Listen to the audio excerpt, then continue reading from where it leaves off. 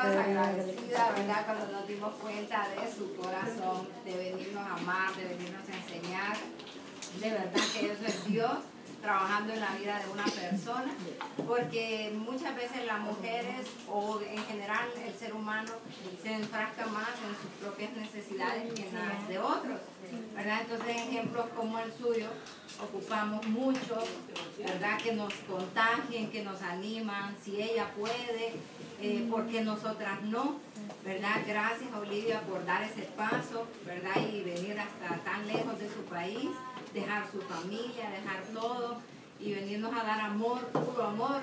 O sea, eh, eh, la verdad no tiene precio lo que, lo que has hecho y espero que Dios recompense en un mil por mil lo que, lo que has hecho y que, que su vida, su familia reciba todas esas bendiciones que, usted está trayendo a su vida por servir de esa manera a Dios, inspirarla que siga de esa forma que no se canse, que el trabajo nunca es en vano, que cualquier cosa que a veces nos pueda parecer poco, pero siempre tiene un eco, va reproduciendo en otros. Entonces, sus acciones definitivamente han venido a, a, llenar nuestros corazones y estamos seguras que el domingo Dios va a utilizar su vida para un montón de amigas que estamos invitando. Yo les mandé una cadena todos mis contactos porque yo quiero, ¿verdad? Y, sueño con que en ese día eh, Dios pueda utilizar su vida y acercarse a todos esos corazones.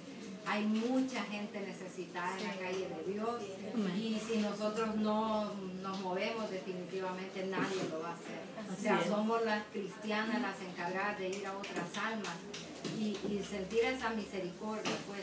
Entonces, gracias Olivia por inspirarnos, gracias por venir a, a mostrarnos una mujer que simplemente es auténtica, pues. Gracias por su corazón, la amo mucho.